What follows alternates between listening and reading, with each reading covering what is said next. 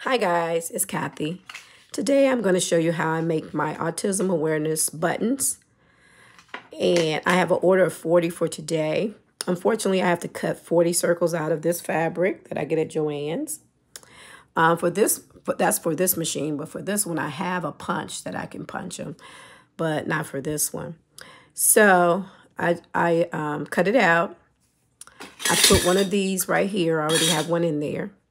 And then I lay this on top, um, the bright the bright fabric side up. And then I just pull that over. Then the button will disappear in the top. You don't see it anymore. And then I'll put this part in like that. And voila, you have a button. All done. Now I just got to do 39 more. See you on my next video. Bye.